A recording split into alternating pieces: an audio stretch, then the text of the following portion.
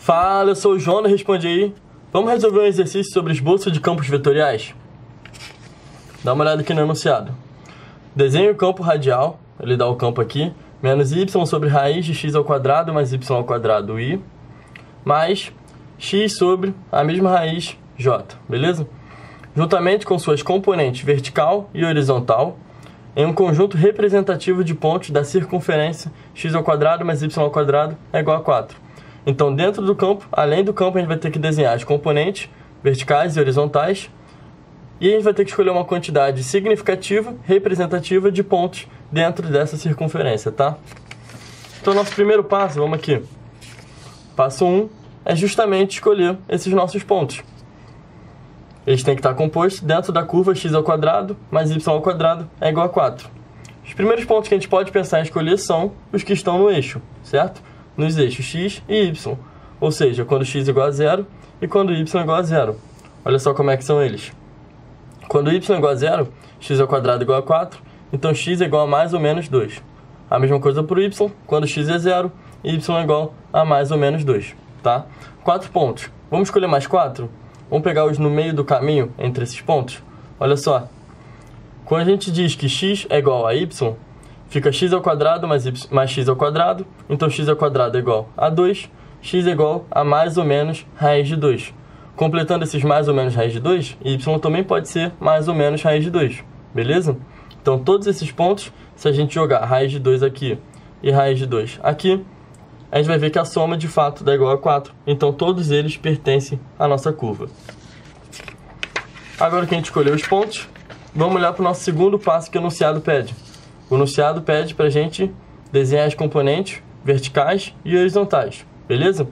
As componentes verticais e horizontais são justamente esse cara aqui multiplicando i, que é a nossa componente horizontal, porque x está na direção horizontal e esse cara aqui todo multiplicando J, que é a nossa direção vertical, tá?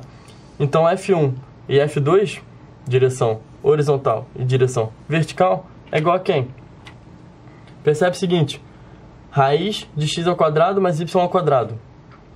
x ao quadrado mais y ao quadrado, pela equação lá da nossa curva, isso aqui é igual a raiz de 4, que é igual a 2.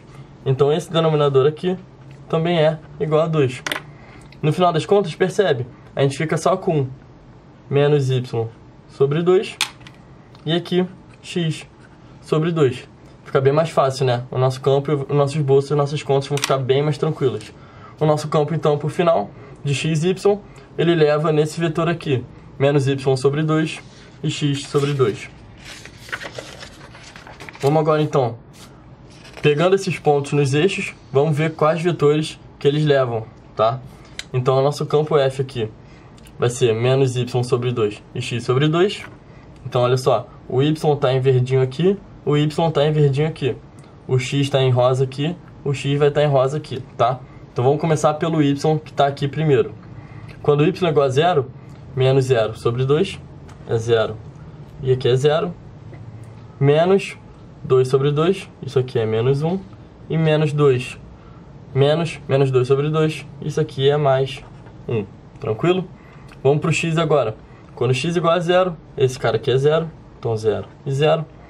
Quando x é igual a 2, 2 sobre 2 é 1.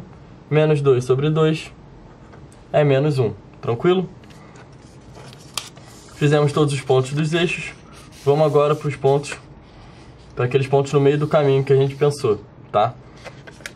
Então pensando aqui de novo no campo, olha só menos y sobre 2 e x sobre 2. Vamos começar por y de novo, em verde aqui. Raiz de 2 sobre 2, menos, colocando aqui o menos do sinal, menos raiz de 2 sobre 2. Aqui de novo, então menos, menos raiz de 2, fica mais raiz de 2 sobre 2. Aqui é a mesma coisa, mais raiz de 2 sobre 2. E aqui fica menos raiz de 2 sobre 2. Vamos para o x agora, vai ser bem parecido. Sempre que é raiz de 2, isso aqui fica raiz de 2 sobre 2. Então, raiz de 2 sobre 2. E quando é menos raiz de 2, isso aqui fica menos raiz de 2 sobre 2. Menos raiz de 2 sobre 2. Viu que os pontos levaram cada um em uma direção diferente, né? Bom, então no final das contas a gente tem esses oito vetores e a gente já tem as direções horizontais e verticais. Vamos ver, olha só.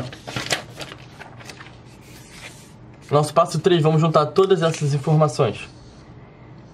A nossa curva é x ao quadrado mais y ao quadrado igual a 4. Então essa circunferência aqui.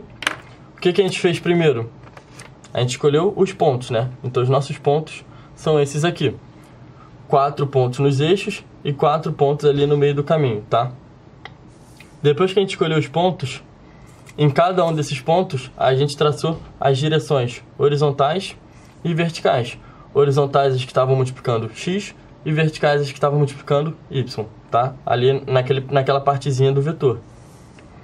E quando a gente juntar tudo isso, a gente vai ter o nosso campo aqui sobre a nossa curva. Então, percebe? Aqui só tem um, um cara na direção esquerda, então ele fica dessa forma.